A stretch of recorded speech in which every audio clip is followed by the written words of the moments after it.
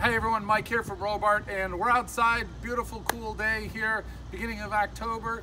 And what we're gonna talk about today is how much weight can our aluminum tires and our yokes actually hold. So, uh, not a perfect demonstration because on a plane you would have two uh, wheels uh, for your mains. However, what I'm gonna do is we got a board here, we got four of our aluminum wheels and our tires, and I'm gonna go ahead and stand up on here, and what you're gonna find out now is that these wheels can actually take quite a bit.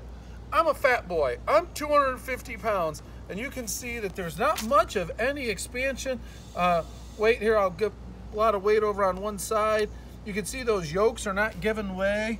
So, you know, when we talk about that these are good tires, that they can hold up to a lot, that you can really see that here, and that those that machining, I'll bounce around this on these a little bit, and you can see this is holding up. I'm 250 pounds and it's really holding up well. Let me see if I can put like the majority of my weight on this one tire right here. Let's see what that thing is doing. And everything seems to be holding up all right.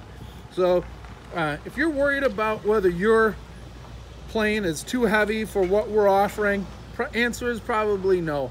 So if you got any further questions, hey, give us a call, 630 584 7616. Check us out online at www.robart.com or follow us on Facebook, Instagram, Pinterest, and YouTube. Have a great day.